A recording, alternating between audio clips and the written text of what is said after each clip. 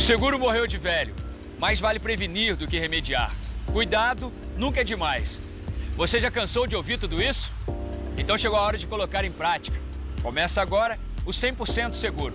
Um programa 100% para você.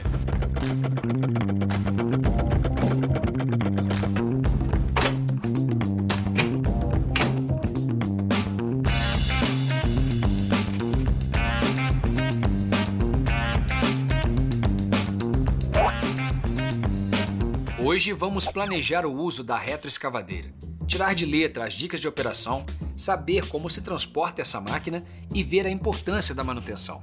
A estrela desse episódio tem mil e uma utilidades. Ela anda, levanta e sobe os braços, gira de um lado para o outro, tudo isso ao mesmo tempo. Haja fôlego. Quem está por trás de todo esse movimento é um único operador. Dá para acreditar? Mas para não acontecer nenhum acidente de percurso, se liga nas dicas que vem por aí.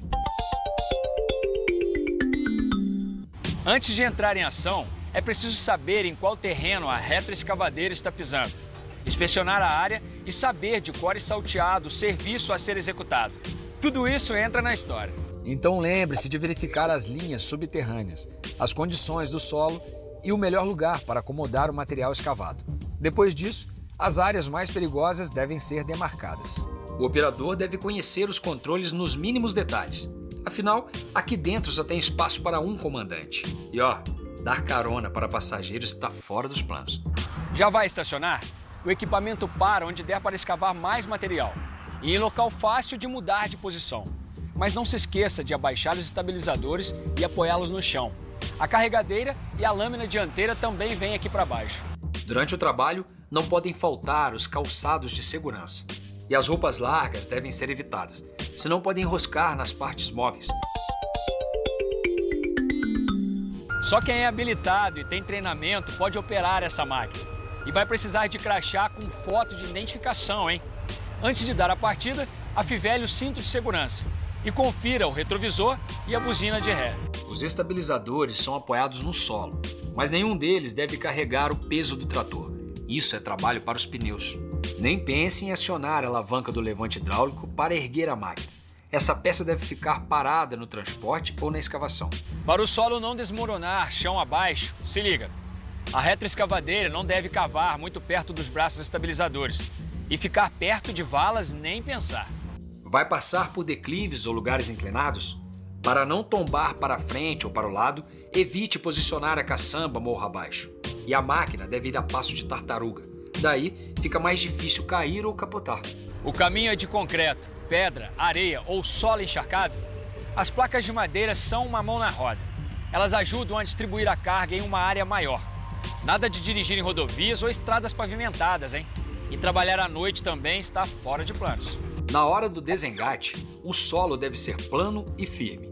E os estabilizadores e a caçamba precisam se apoiar no chão, mas antes de sair da máquina, o motor precisa ser desligado. As mãos ou qualquer outra parte do corpo ficam longe dos vazamentos e dos produtos químicos. Em contato com a pele, eles podem fazer um estrago. Pinos, parafusos, anéis de retenção, as peças de fixação devem ser verificadas todos os dias. Também é importante checar o nível de óleo do reservatório e lubrificar todos os pontos graxeiros. Mas para garantir o bom funcionamento, é só seguir os planos de manutenção e reparo. Travar, acionar freio, abaixar caçamba e braços estabilizadores. Agora sim, você pode colocar a mão na massa. Nada de mexer no sistema hidráulico pressurizado e nos cilindros se eles estiverem sob carga. Anotou tudo? Antes de sair por aí com a retroescavadeira, é preciso fazer um planejamento.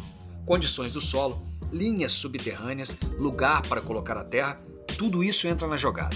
O operador treinado e qualificado deve estacionar onde for melhor para escavar. Para não levar um tombo, se liga na velocidade.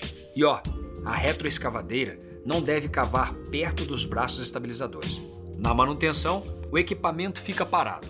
Só pode mexer depois de travar, acionar o freio e abaixar as caçambas e os braços estabilizadores. Seguindo passo a passo, todo mundo fica protegido. 100% seguro. Um programa 100% para você.